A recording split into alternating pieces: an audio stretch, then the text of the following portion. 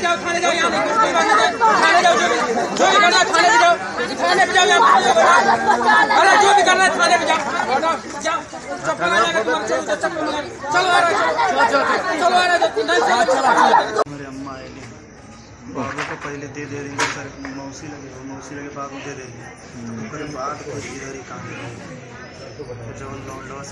ये मालती मेरी बेटी है अपने ससुराल में आई थी यहाँ पर कबल तभी परसों लेकर के विष्णु चौहान आया घर से और कल हमारी बात हुई है कोई विवाद नहीं था।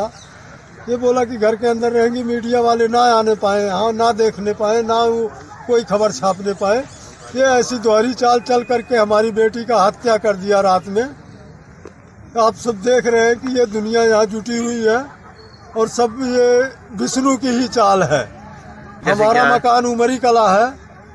हमारा कोतवाली खलीलाबाद थाना यही है। और बेटी की शादी कहाँ पे हुई थी आपकी? ये काली जगदीशपुर मोहरैया में किए थे हम शादी इसकी।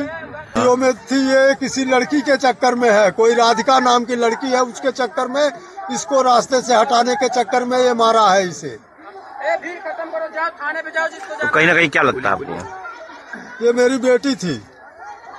और हमारी बेटी का ये हत्या किए हैं।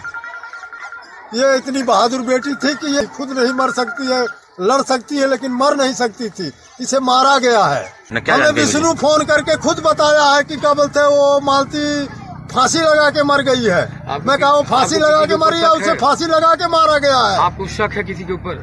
हमें विष्णु के ऊपर शक है विष्णु ही ये सारा काम किया है। ये थाना मोहली के अंतर्गत ग्राम काली जगदीशपुर है जिसमें मालती चौहान जिनकी शादी विष्णु राज से करीब पाँच वर्ष पूर्व हुई थी सुबह इनकी मौत इनके घर में ही हो गई है जिसपे उनके पिता तहरीर थाने में दे रहे हैं जिसमें सुसंगत धाराओं में अभियोग पंजीकृत कर विवेचना की जाएगी पूरे प्रकरण में। सर प्रथम दृष्टिया क्या लगता है सर? प्रथम दृष्टिया पति पत्नी के बीच विवाद पाया गया है। पोस्टमार्टम रिपोर्ट आने के बाद स्थिति क्लियर हो पाएगी कैसे उसकी हत्या की गई है महिला की।